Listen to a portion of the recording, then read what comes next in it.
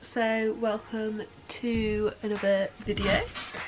In this video I'm going to be dyeing my hair again. As you can see um, my fringe is very purple so we're going to stick to purple in the fringe but all of the orange has gone out the lengths of my hair. There is still some in the roots so that might make it look weird, I don't know but we're just going to try and go over it. So I think what I'm going to use and I'm going to use Directions Cerise um, just got a little tub of this.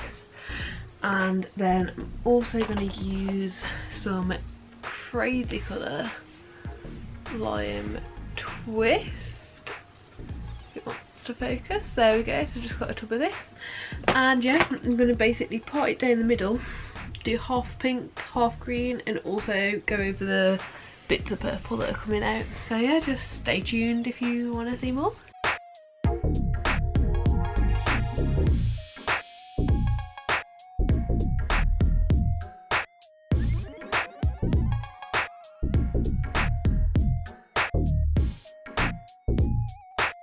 Okay, so I've just put a bobble around my hair with the glove over the top of it to try and keep it inward and then I'm going to move on to the green side.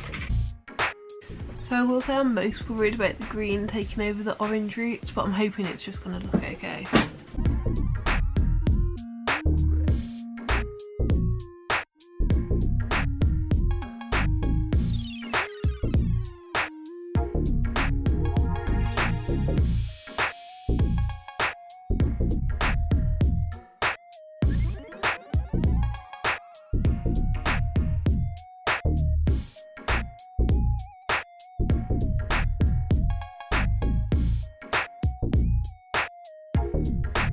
Hello, so I've just realised that I never ended this video.